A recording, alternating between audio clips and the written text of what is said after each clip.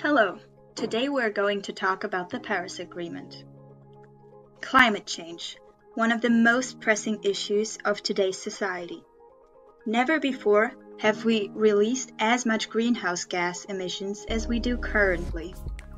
This is why, in 2015, leaders of 180 countries sat down together to reach an accord on how to tackle climate change. But what exactly is the Paris Agreement? What are its aims and its effects? The Paris Agreement brought all nations together to undertake ambitious efforts to reduce carbon emissions and to do the best to keep global warming to well below 2 degrees Celsius ideally below 1.5 degrees Celsius. In addition, the agreement suggested enhanced support to assist developing countries to do so too.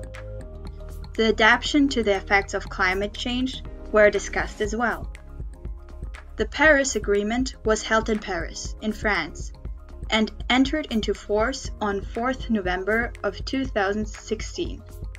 It was an improvement and replacement of the Kyoto Protocol from 2005, an earlier international treaty.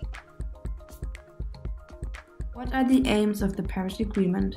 The central aim is to strengthen the global response to climate change in order to keep global temperature rise this century below 2 degrees Celsius, preferably below 1.5 degrees Celsius, above pre industrial levels.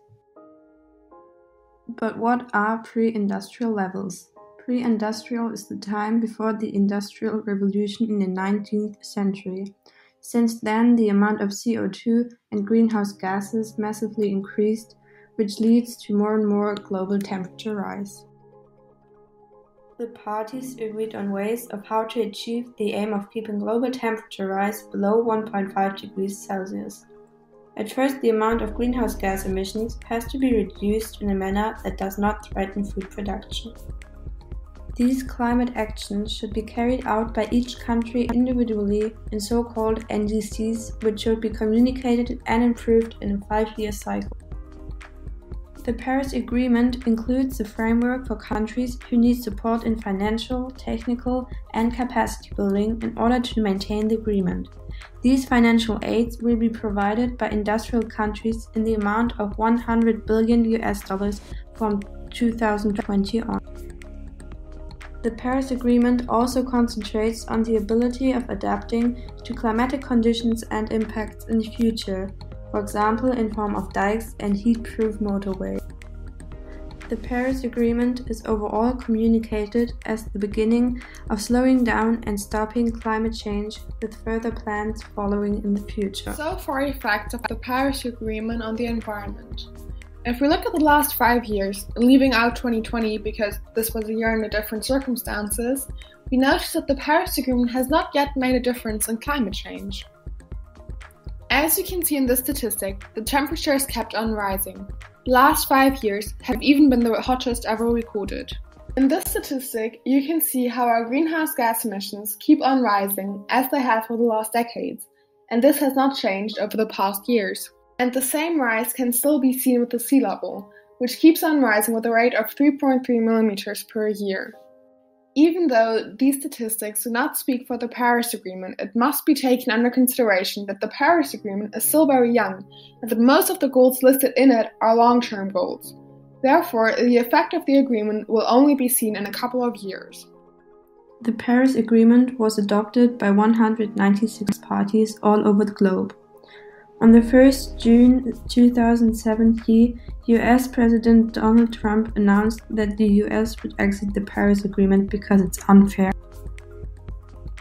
On the 5th of November 2020, the US officially left the Paris Agreement. On the same day, Joe Biden tweeted, Today, the Trump administration officially left the Paris Climate Agreement, and in exactly 77 days, the Biden administration will rejoin it. Biden also proposed a 1.7 trillion US dollar plan to take the US to net zero by 2050. A lot of politicians have been praising the Paris Agreement, stating how promising its goals are. which is why we must ask ourselves whether the agreement really is enough to make a difference in climate change.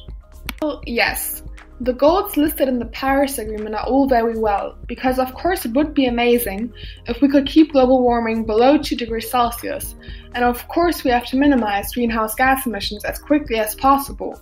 But the problems of the Paris Agreement are not the goals themselves, but the lack of plans and actions taken to meet them.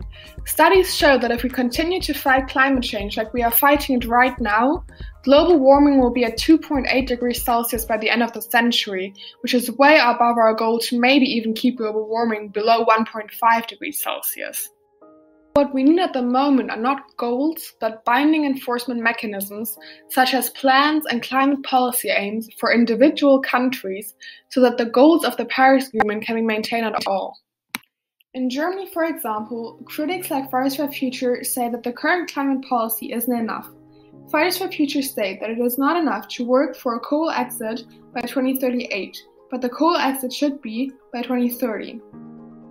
Fridays for Future also demand 100% renewable energy by 2035 and not just by 2050. They want to achieve the net zero by 2035. Merkel recently stated that Germany knows that they need to do more if they want to achieve their own goals, but she also promises to still be committed to those goals. What can you do in order to solve this problem?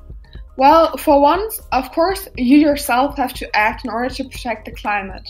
But the problem that we have been explaining today is not the problem of individuals not doing enough, but it is individual countries that aren't acting appropriately. So the only thing you can really do is keep on raising awareness, by demonstrating, for example, so that the government will notice us and start to rethink or change their climate policies. Well, that's it for today, guys. Thank you so much for listening. We hope you enjoyed our video. If you want to know more about climate change and what you can do, visit www.voicesofyouth.org slash climate action.